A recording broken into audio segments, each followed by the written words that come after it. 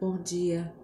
Eu sou, estou falando aqui do Brasil para deixar o meu depoimento ah, sobre o mestre Samiti. Eu sigo ele porque eu encontrei pela internet e muito pouca coisa se sabe porque não é divulgada toda a sabedoria indiana aqui no Ocidente.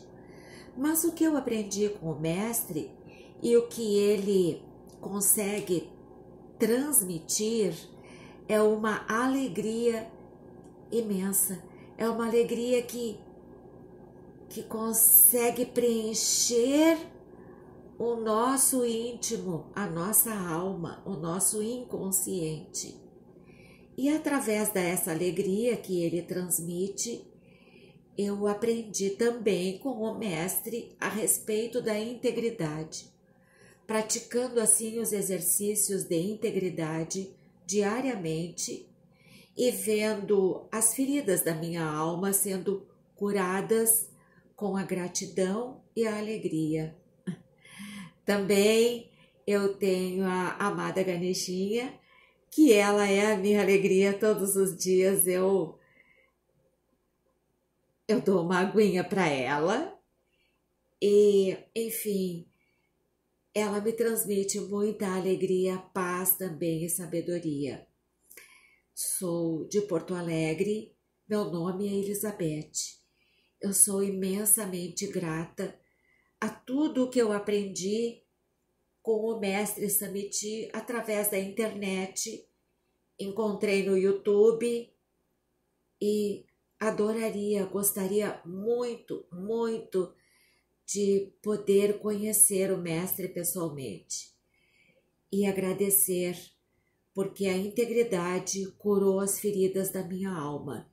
Curando as feridas da minha alma, chegou através do meu corpo, que o qual eu lutei desesperadamente durante anos, fazendo quimioterapia, e através da integridade eu consegui a cura do câncer é, foram foi uma alegria tão grande que quase impossível de acreditar. Enquanto eu não peguei meu exame, olhei eu mesmo e disse: não, isso é verdade. Cheguei em casa, agradeci ao mestre Samiti, a minha Ganesha e também a todos os meus outros mestres que eu tenho, que é o meu amado Jesus. Então, eles são um só, porque todos é uma crença de Deus. Muito obrigada por tudo. Não sei se meu vídeo vai ajudar, mas eu gostaria muito que a sabedoria indiana chegasse até nós através dos colégios, porque a infância, a nossa infância, as crianças do Oriente, elas não sabem quase nada sobre integridade. E isso seria muito bom que fosse aprendido nas escolas. É, agora que está chegando a espiritualidade unida com a saúde, enquanto que na, na Índia vem a espiritualidade em primeiro lugar. Eu sou imensamente grata ao meu amado Guru por por ele me fazer escolher viver. É o que ele sempre diz. Ele diz: escolha viver.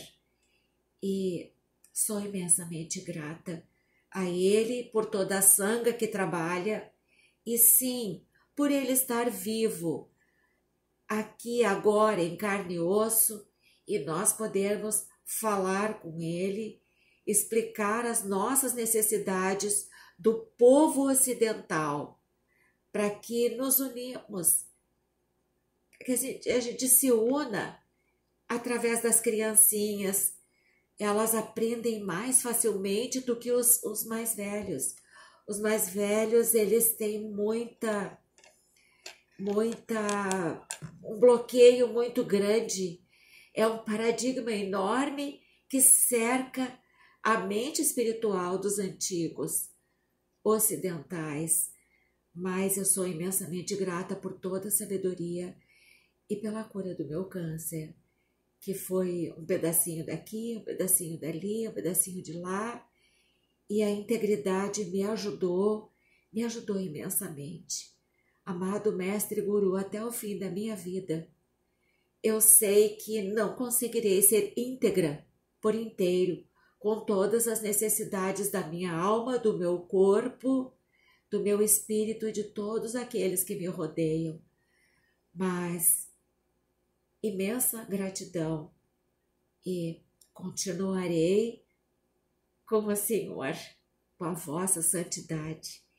É que o Senhor, ele é, o Senhor é tão doce, tão meigo que nós os sentimos estar com a sua presença. No momento que eu ligo a, o vídeo e assisto a, quando o senhor começa a falar as suas palestras a respeito de Calabairava, o senhor do tempo, eu adoro, eu fico admirada, eu queria que todos, todos pudessem aprender a sabedoria indiana, independente de tudo. De tudo, ela toca o coração, ela fala a verdade, porque a verdade convence o espírito. Obrigada. Muito obrigada.